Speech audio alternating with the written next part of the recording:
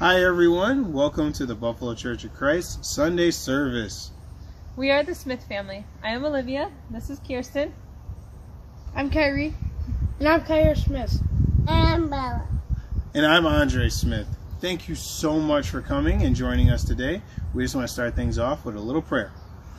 Dear Lord, we thank you so much for bringing us all together today, Lord. I ask that you please prepare our hearts and our minds to focus in on the word, Lord, that's so precious and we need to listen to so much during these trying times right now. Dear Lord, we thank you so much for bringing us all here and gathering us all together, Lord, underneath your umbrella. Dear Lord, we thank you so much for everything. In Jesus' name we pray. Amen. Amen. Have a great day. Bye. Bye bye.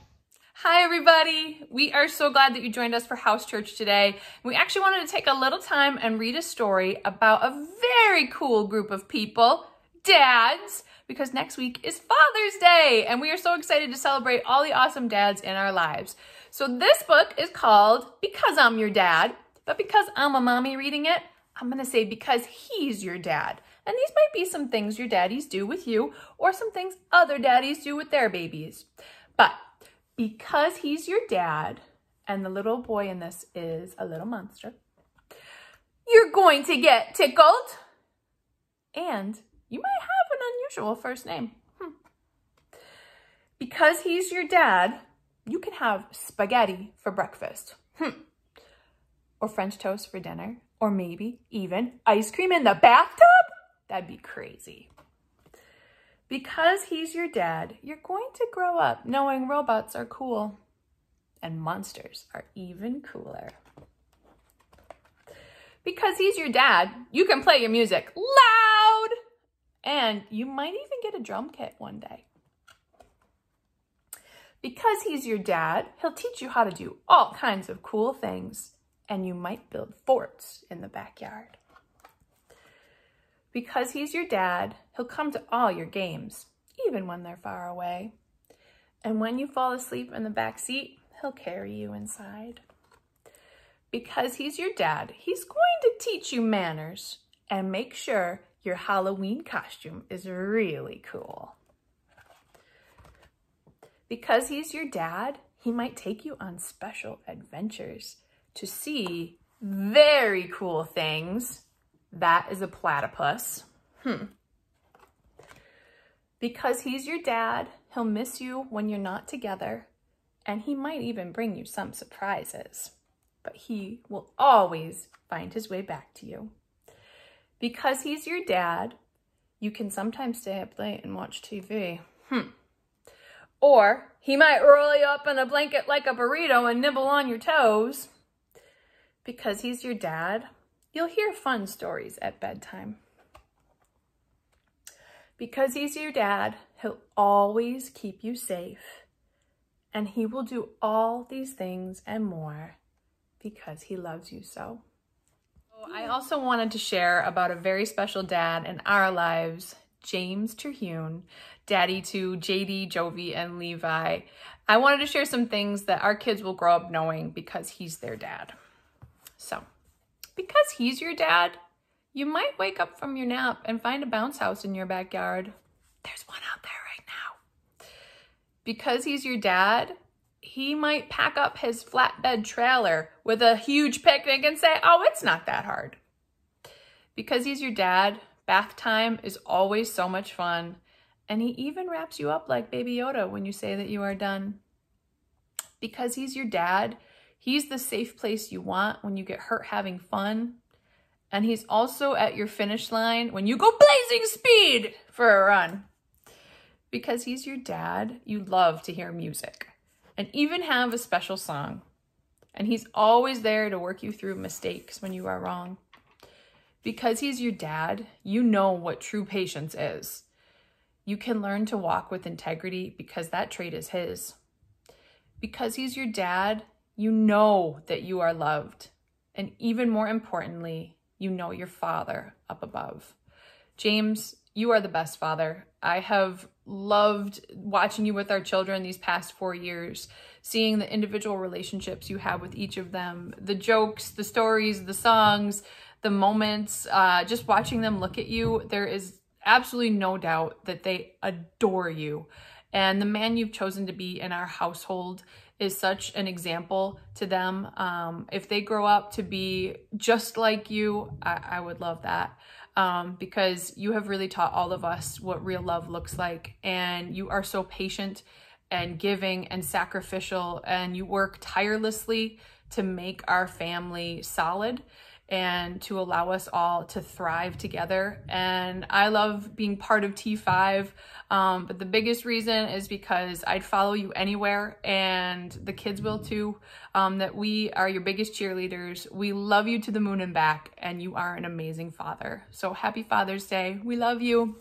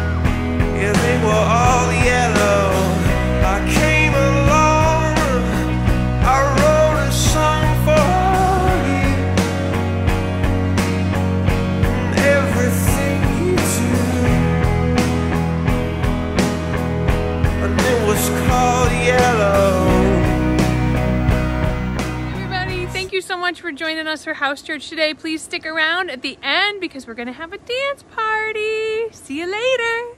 Hi, everybody. Welcome to Buffalo Church of Christ. This is the Building Blocks House Church. And I'm so excited to be here with you virtually. I think it goes without saying, we all know at this point, uh, it's impossible not to, that there have been crazy times uh, for months now, right? And, and it just seems like the crazy times, they get crazier. And so I know for me, it's been helpful just to refocus my thoughts and my energy and my prayer around Jesus. So today I'm going to share with you a parable of Jesus that I've actually been thinking about a lot uh, because of a podcast that some of my uh, great friends had recommended a while back. Uh, Alex and Lydia Jordan had recommended listening to uh, the Bema podcast, which is really cool. It's worth checking out if you haven't. Um, but for me, it's just provided a different perspective on things, uh, you know, in ways that I had not seen things before. Uh, so I'm going to share Matthew 25, verse 14 through 30. Verse 14, Matthew 25 says, For it is just like a man about to go on a journey. He called his own servants and he entrusted his possessions to them. To one he gave five talents, to another two talents, and to another one talent, depending on each one's ability. Then he went on a journey immediately. The man who had received five talents went, put them to work, and earned five more. In the same way, the man who earned two earned two more. The man who received one talent went off, dug a hole in the ground, and hid his master's money. So I'm going to stop right there for a second. You know, when I read the word talent, uh, I don't think monetary value naturally. Uh, but in this case, a talent had monetary value. A talent was about 6,000 denarii. Uh, 6,000 denarii was equivalent to about 20 year 20 years of an average laborer's uh, wages. So if you put that in modern terms, let's just say, uh, for argument's sake, that an average laborer makes $40,000 a year, right? Um, 20 years times that $40,000 would be one talent. Uh, so, so basically, one talent is equivalent to today's $800,000. Two talents would be equivalent to $1.6 million. Five talents would be worth $4 million. So let's continue reading with that in mind. Verse 19 says, After a long time, the master of those servants came and settled accounts for them. The man who had received five talents approached. He presented five more talents. And he said, Master, you gave me five talents. See, I've earned five more talents. His master said to him, Well done, good and faithful servant. You are faithful over a few things. I will put you in charge of many things. Share your master's joy. The the man with two talents also approached. He said, Master, you gave me two talents. See, I've earned two more talents. His master said to him, Well done, good and faithful servant. You were faithful over a few things. I will put you in charge of many things. Share your master's joy. The man who had received one talent also approached and said, Master, I know you. You're a harsh man, reaping where you haven't sown and gathering where you haven't scattered seed. So I was afraid, and I went off and I hid your talent in the ground. See, you have what is yours. His master replied to him, You evil, lazy servant. If you knew that I reap where I haven't sown and gather where I haven't scattered, then you should have deposited my money with the bankers, and I would have received my money back with interest when I returned. So take the talent from him and give it to one who has ten talents. For to everyone who has, more will be given, and he will have more than enough. But from the one who does not have, even what he has will be taken away from him. And throw this good for nothing servant into the outer darkness, where there will be weeping and gnashing of teeth. Wow. Uh, you know, when I first read this scripture, I kind of felt like it was harsh. I'm like, man, this guy was given something and he protected it and he returned it to his master. And I, I look at it in a different light now. You know, if you if you read back through and he looked, you know, the servant with five talents, again, equivalent to about four million dollars in today's wages, he he he he was faithful with it, and he brought him back five more talents. And the man with two talents earned two more talents, so he earned 1.6 addition additional million dollars to what had initially been given to him. And then finally, the guy with one talent, with the equivalent of eight hundred thousand dollars, he he came up with just the eight hundred thousand dollars, right? And when you think about it, you know, what these talents really represent are what God has given us. You know, a lot of times uh, we think about our talents, you know, not in a monetary way, but the things that we're good at, the things we're capable of. And, and sometimes we can get insecure about our talents. You know, we can think like, oh man, like I'm not as good a singer as that person, or man, I'm I'm not as smart as that person, or man, I wish I was as fast as, or as strong as, or as successful as. Like we can kind of get a little insecure about our talents, but that's not the point of this scripture. You know, the thing is, God gave all of us one talent that's the same for each and every one of us, and uh, ultimately, what He gave all of us that we have in common was the Holy Spirit. 2 Corinthians 1, verse 22, it says that God put his seal on us. He gave us his Holy Spirit as a deposit of things to come. You know, God gave us the biggest and the best talent we could ever ask for. He gave us the deposit of the Holy Spirit. Anything else that we're good at, any other gifts that God gave us, that's just icing on the cake. But what God wants to do, wants us to do with that gift of the Holy Spirit, that deposit of the Holy Spirit, is to go out and to use that to ultimately help other people and to deposit that Holy Spirit in others. Because every time you give that gift to somebody else, you bring an additional deposit of the Holy Spirit. Your talent, when you share your faith, becomes another talent when you help somebody become a Christian and get baptized and get that deposit of the Holy Spirit. That's what makes God happy. And when you look at it in those terms, like, man, no wonder God was bummed out about this guy. Like, God literally sent his son Jesus to die for all of us so that we could have that gift of the Holy Spirit. And this guy just sat on it. He did nothing with it. And all he did was come back and say, hey, check it out. I'm good. I still have what you gave me. And, and that's why God was, was so upset. That's why in this story, the, the master called him an evil, lazy servant. Because he just sat on that amazing gift, that amazing talent, that amazing deposit that Jesus died for, for all of us to have. You know, it's funny having young kids at home because, um, you know, as, as, insecure as we as adults can be about, you know, talents, kids think they're talented at everything. You know, they'll come up to you and be like, hey, you want to see what I can do? Think that's amazing.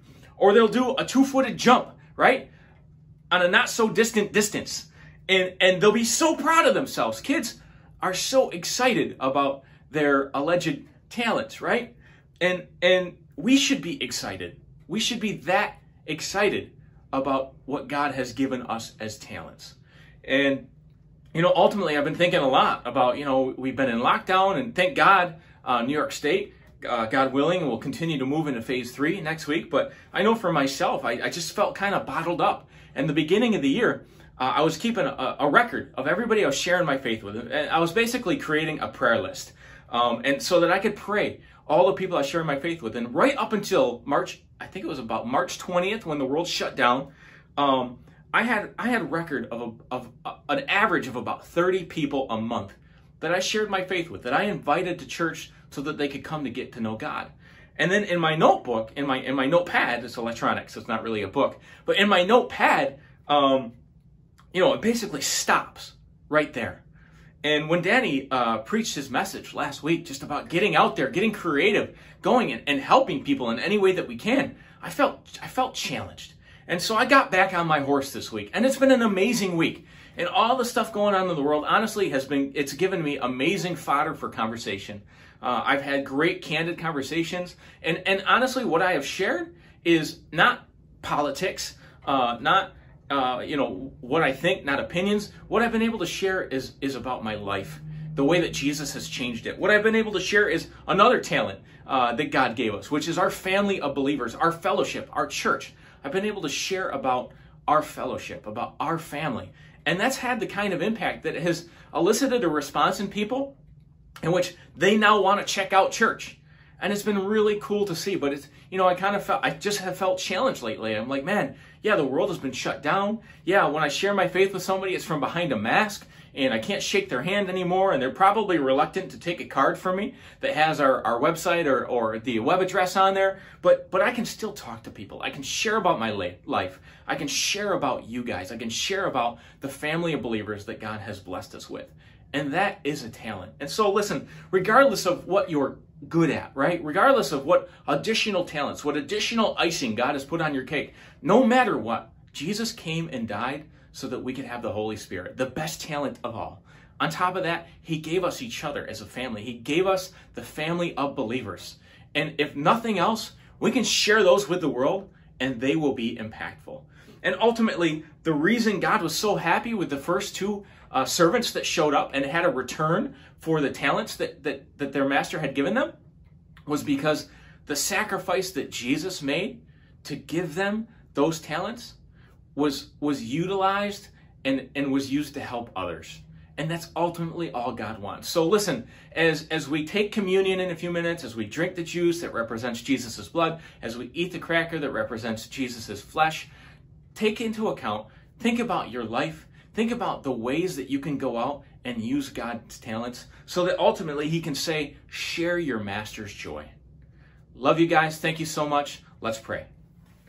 God, thank you so much for our time together. God, thank you for the amazing gift that you have given us through your son Jesus. Thank you that he died for our sins, God, so that we have the ability to repent and get baptized and receive your gift, your talent of the Holy Spirit. God, I pray that we share that joyfully and that we can share in our Master's joy. We love you so much. Please protect us. Please help us to continue to open up safely. We love you. In Jesus' name we pray.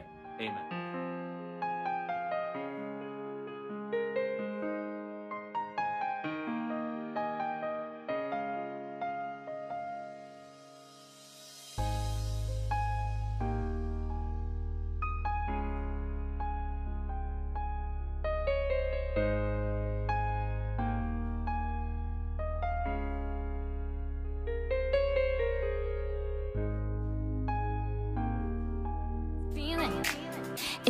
My bones. It goes electric wavy when I turn it on. And if you want it inside your soul, Just open up your heart, let music take control. I got that sunshine in my pocket, got that good soul in my feet. I feel that hot blood in my body when it drops. Ooh, I can't take my eyes off of it, moving so phenomenally. The room unlocked the way we rock it, so don't stop. And Under the lights when everything goes, nowhere